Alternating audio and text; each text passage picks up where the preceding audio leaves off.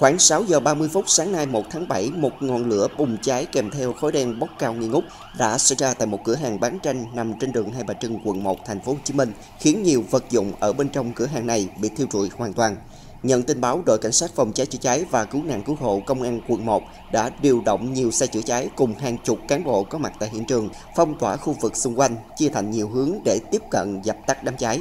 Lực lượng chức năng cho biết vẫn đang tiếp tục điều tra nguyên nhân vụ cháy và chưa thống kê được mức độ thiệt hại cũng như thương vong trong vụ cháy này.